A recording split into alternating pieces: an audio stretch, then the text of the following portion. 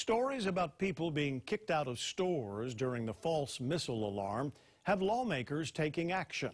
They want a law passed requiring businesses and homeowners to provide shelter during a missile threat alert.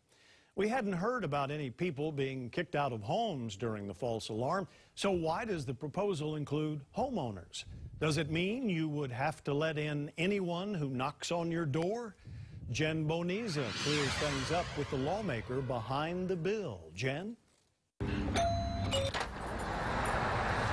Would you allow a stranger into your home in the event of an emergency? The proposed bill actually would require that as it's currently written. However, that's not the intention Representative LoPresti had in mind. I met Eva Representative Matthew LoPresti to get clarification in the event of a ballistic missile or civil defense emergency that people aren't allowed to be shoved out into the street. If it's a business or if you have guests at your home, we're telling people to shelter in place, so the laws on the book should reflect what we're telling people to do. I'm told the bill will be rewritten to reflect his intention it's not always entirely clear on the first go-around how to accurately write it. The important thing is to have something so we can bring it before committee and have that discussion to make the language more perfect. I wanted to know what people thought.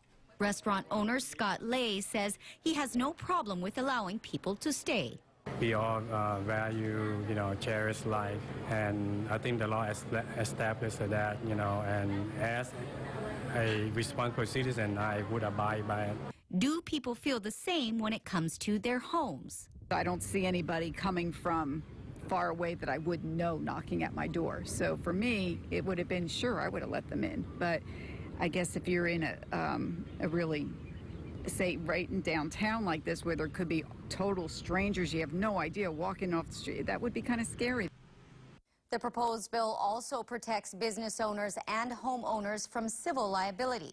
The bill is scheduled to be heard tomorrow at 9 a.m. in House Conference Room 312. Joe?